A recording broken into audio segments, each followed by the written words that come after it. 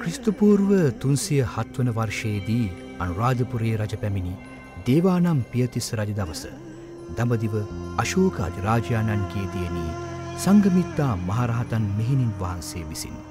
ශ්‍රී මහා බෝධීන් වහන්සේ මෙරටට වැඩමවාගෙන එද්දී. අද තන්තිරිමලේ නමින් හැඳින්වෙන. එදා තිවක්ක බමුණගම නම් මේ ස්ථානයේ නතර වූ වග අතීත පුරාවෘත්තියන්හි සඳහන්.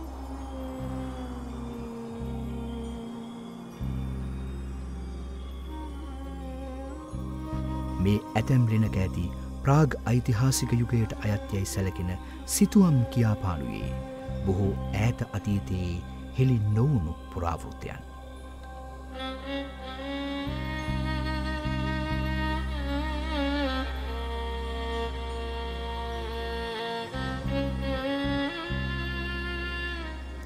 වසර දහස් කලනක් අව්වැසි සුළං ආදියට ගොදුරුවමින් වුවද. අදද මේ පර්වතයෙහි වැඩවෙසන අෂ්ටපල බෝධීන් වහන්සේ විතින් ලැබෙන මානසික සුවය විස්තර කරන්නටත් අපහසුයි. අක්කර දෙසියකට වඩා විහිද කිය මේ කළුගල් පව්ව පුරා බුදුගුණ පැතිරකියේ අපේ හෙළ කලාකරුවාගේ බලමහිමය කියාපාමින්. මෙහි යන බුදු පිළිම අනුරාධපුර යුගයේ අවසන් කාලයේ ඉදිවන්නට ඇතැයි සැලකෙනවා.